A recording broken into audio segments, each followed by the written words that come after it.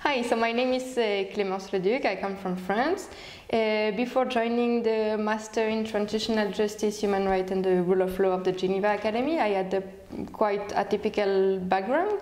Uh, I studied geography with a focus on geopolitics and environment with an exchange year in the UK, followed by a second one in Madrid to learn Spanish on top of English.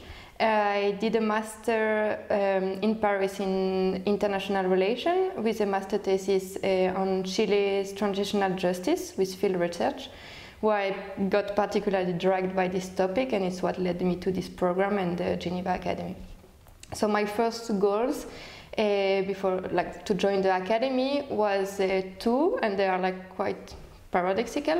Uh, one was to get more theoretical background on this topic because in view of maybe doing a PhD later on, and the second one was to have like more practical studies um, than what I had before, that were more theoretical. Um, I was not disappointed by neither of those two goals, um, as I really enjoyed the environment around the Geneva Academy to meet amazing practitioners and academics.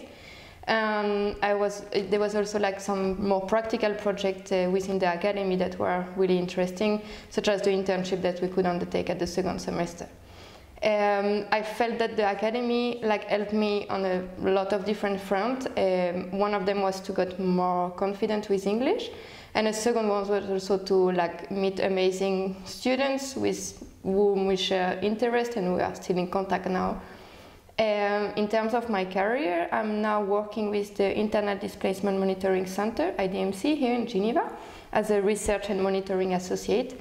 I'm really confident in saying that the Geneva Academy helped me achieving this position because I'm monitoring now the Arabic Peninsula, which is particularly in line with the topic um, I did my master thesis on and the internship I had with UNRWA uh, on Palestinian refugees in Syria that have been displaced by, by the conflict. So I would really recommend uh, anyone wishing to have more uh, in-depth knowledge about the humanitarian world and actors to undertake this master program.